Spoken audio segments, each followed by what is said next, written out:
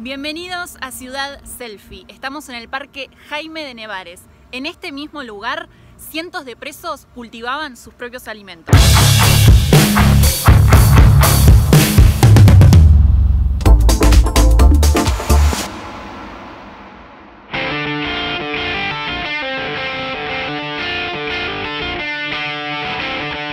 Llegó el momento de la verdad. Acompáñenme a conocer la ex 9.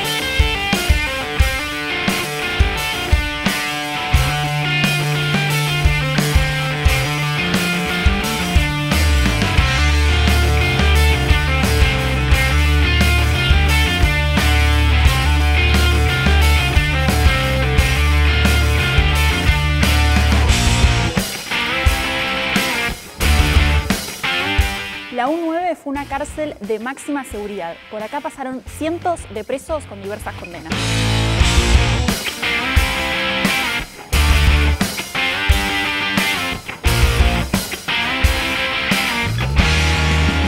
Durante los últimos años, este se convirtió en el pabellón de la confianza.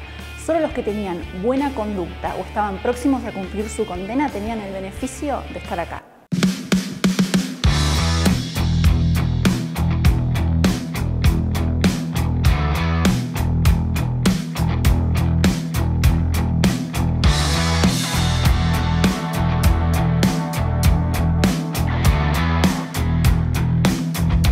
Con Cecilia, una de las guías de las visitas guiadas acá en la cárcel.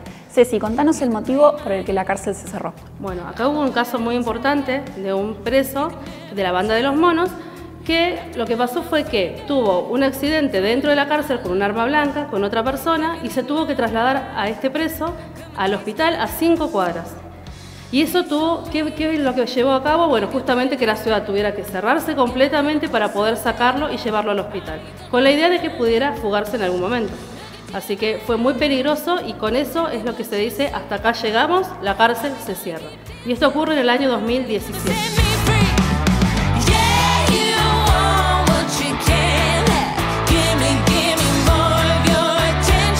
Lugar, los presos que tenían buena conducta podían recibir visitas cada 15 días.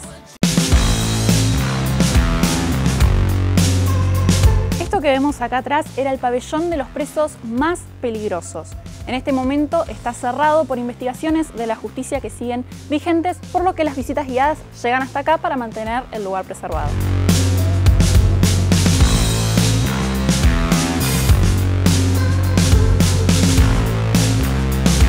Adelantamos al principio, en este lugar los presos cosechaban sus propios cultivos para después alimentarse. Hoy se transformó en un lugar cargado de verde y lleno de actividades para los vecinos de Neuquén. Se puede jugar al fútbol tenis, al ping pong y jugar al básquet.